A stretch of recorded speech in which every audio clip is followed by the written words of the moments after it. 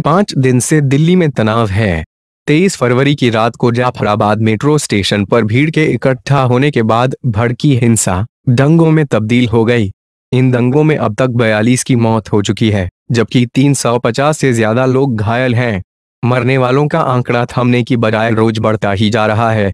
Police के मुताबिक, ज़्यादातर लोगों की मौत गोली लगने की वजह से हुई है, जबकि कुछ लोगों की मौत दंगाइयों के हमले से हुई। मरने वालों में सबसे उम्रदराज पचासी साल की अकबरी हैं। अकबरी का घर दंगाइयों ने जला दिया। उस वक्त वे घर पर ही थीं, जबकि सबसे छोटे हाशिम और अमान थे। दोनों की उम्र सत्रह साल ही थी। हाशिम भाई के साथ परिवार वालों के पास जा रहे थे। तभी उन्हें दंगाइयों ने मार्च दिया और अमान घर से दूध लेने निकले थे। तभी उन्हें गोली मार्च दी। दिल्ली के करीब पंद्रह इलाकों में दंगे भड़के। कई लोग ज़िंदा जला दिए गए। तो कई लोगों को चाकू, तलवार जैसे धारदार हथियारों से हमला कर मार्च दिया गया। दंगों में जान बनवाने वालों में ज़्यादातर लोग गरीब थे। अपने परिवार में इकलौते कमाने वाले भी। किसी की हफ़्ते भर पहले ही शादी हुई थी तो किसी की पत्नी प्रेग्नेंट थी। अभी तक मरने वाले बयालीस लोगों में से तीस की पहचान हो गई है। एक, शाहिद अलवी। उम्र 24 साल बुलंदशहर के रहने वाले शाहिद ऑटो ड्राइवर थे। दंगाइयों ने उन्हें पेट पर गोली मारी थी। चार महीने पहले ही शाहिद की शादी हुई थी। उनकी पत्नी शाजिया प्रेग्नेंट है। दो, मोहम्मद फुरकान। उम्र, बत्तीस साल मूल रूप से उत्तर प्रदेश के रहने वाले फुरकान वेडिंग बॉक्स डिज़ाइन करने का काम करते थे। उनके परिवार में पत्नी, चार साल की बेटी और तीन साल का बेटा है। फुरकान पर भी भीड़ ने हमला कर दिया था। मोहम्मद फुरकान तीन, राहुल सोलंकी। उम्र 26 साल सिविल इंजीनियरिंग की पढ़ाई करने के बाद प्राइवेट कंपनी में नौकरी करते थे राहुल। दंगाइयों ने उनको गोली मारी थी। उनके पिता हरी सिंह सोलंकी के मुताबिक राहुल की बड़ी बहन की शादी अप्रैल में होनी थी। चार, अशफाक हुसैन। उम्र 22 साल। इलेक्ट्रिशियन का काम करते थे। दंगाइयों ने उन्हें पाँच गोली मारी थी। 11 फरवरी को ही अशफाक की शादी हुई थी। अशफाक हुसैन पाँच, विनोद कुमार। उम्र 50 साल घोंडा चौक में अरविंद नगर के रहने वाले विनोद के परिवार में पत्नी और दो बेटे हैं। विनोद अपने बड़े बेटे नितिन के साथ बाहर गए थे, तभी दंगाइयों ने उन पर हमला कर दिया। हमले में विनोद की मौत हो गई, जबकि नितिन घायल हो गया था। दंगाइयों ने उनकी बाइक भी जला दी थी। छह दिनेश कुमार। उम्र, पैंतीस साल ड्राइवर थे और इसी से अपनी पत्नी और दो बच्चों को खर्चा चलाते थे। दिनेश को सात से आठ घंटे तक वेंटिलेटर पर भी रखा गया, लेकिन बचाया नहीं जा सका। सात, अकबरी। उम्र। पचासी साल दिल्ली के गामड़ी गाँव में रहती थी अकबरी। उनका बेटा मोहम्मद सईद घर पर ही कपड़ों की दुकान चलाता था। दंगाइयों ने जिस वक्त उनका घर जलाया, उस वक्त अकबरी घर पर ही थी। इसी में उनकी मौत हो गई। अकबरी आठ, रतनलाल। उम्र। बयालीस साल मूल रूप से राजस्थान के सीकर के रहने वाले रतनलाल दिल्ली पुलिस में कांस्टेबल थे। हाल ही में उनकी पोस्टिंग गुकलपुरी में एसीपी ऑफ़िस में हेड कांस्टेबल के तौर पर हुई थी। उनके परिवार में पत्नी और तीन बच्चे हैं। रतनलाल नौ, अंकित शर्मा। उम्र 25 साल, अंकित इंटेलिजेंस ब्यूरो, आईबी, में बतौर सिक्योरिटी असिस्टेंट काम करते थे। वे कई दिनों से लापता थे। उनका शव चांदबाग इलाके में एक नाले से मिला था। अंकित शर्मा दस, राहुल ठाकुर, उम्र, तेईस साल भजनपुरा इलाके में रहने वाले राहुल अप्रैल में होने वाले सिविल सर्विस एग्ज़ाम की तैयारी कर रहे थे। वह अपने परिवार में सबसे छोटे थे। उनके पिता आरपीएफ अफसर हैं। राहुल को सीने पर गोली लगी थी।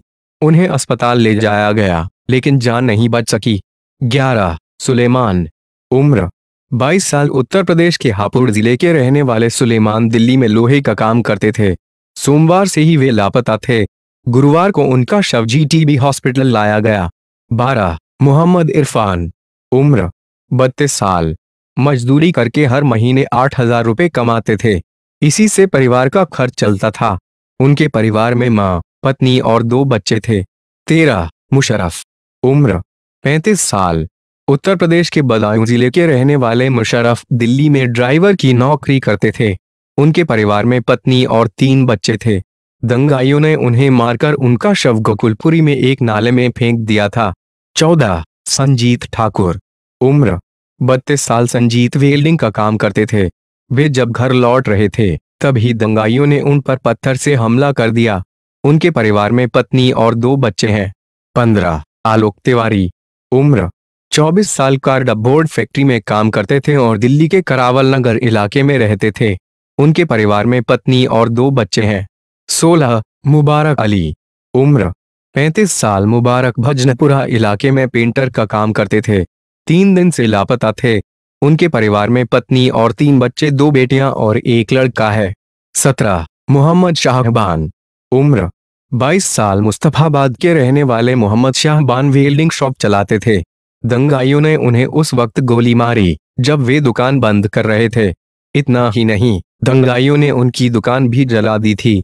अठारह, अनवर, उम्र, अट्ठावन साल शिव विहार इलाके में पोल्ट्री फार्म, मुर्गी पालन, चलाते थे। इसी से उनके परिवार का खर्च चलता था। उनके परिवार में पत्नी और दो बेटियाँ हैं। दंगाइयों ने उन्हें जला दिया था। उन्नीस, आमिर, उम्र, तीस साल मुस्तफाबाद में रहते थे। बुधवार से ही लापता थे। गुरुवार को उनका शव मिला।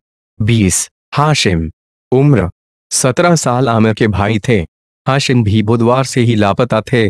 उनका शव भी गुरुवार को ही मिला। इक्कीस, वीर भान, उम्र, पचास साल। अपना खुद का काम करते थे। दंगाइयों ने करावल नगर इलाके में उन्हें गोली मार दी थी। उनके परिवार में पत्नी, बाईस साल का बेटा और पंद्रह साल की बेटी है। वीर भान बाईस, मुदसिर खान, उम्र, पैंतीस साल ऑटो ड्राइवर का काम कर परिवार का खर्च चलाते थे। उनके परिवार में उनके दो बच्चे थे। दंगाइयों ने उन्हें गोली मार दी थी। तेईस इश्तिया खान। उम्र 24 साल करदमपुरी इलाके में रहते थे। वहाँ वेल्डिंग मशीन बनाने का काम करते थे। उनके परिवार में पत्नी, तीन साल की बेटी और छह महीने का बेटा था। दंगाइयों ने उनके पेट में गोली मार दी थी। 24 मोहम्मद यूसुफ। उम्र, बावन साल ओल्ड मुस्तफाबाद के रहने वाले यूसुफ कारपेंटर थे।